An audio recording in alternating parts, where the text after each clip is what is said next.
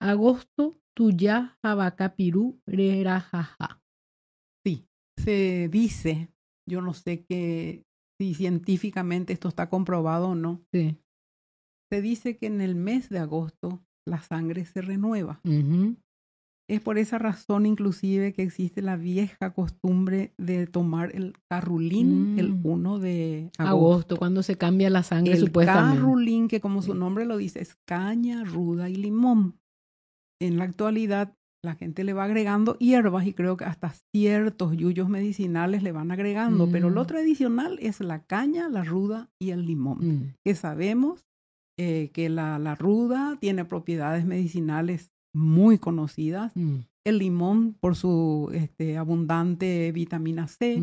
Y la caña que hace correr la sangre de otra manera, ¿verdad? Yo creo que es un estimulante de la desinfectándonos por dentro. Eso, y para destapar un poco la, la cañería, como se dice, las arterias obstruidas. Sí. ¿Y cómo es que se toma el garrulín?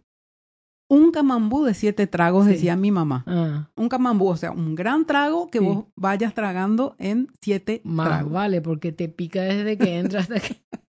bueno, y es con caña blanca. Sí. Y bueno, eso ahora mí em, se dice de que si pasaste agosto ya hay posibilidades de llegar al siguiente agosto y de que a las vacas flacas sí se las lleva, así dicen que sí, que se ah. las lleva. Bueno. Pero bueno, no sé si es este creencias populares o tal vez tal vez se ajuste a la realidad, por eso digo, yo no, no, sé si existe un, una demostración científica de este fenómeno. Mm. Pero bueno, ahí está el dicho. Genial. La frase en realidad. La frase.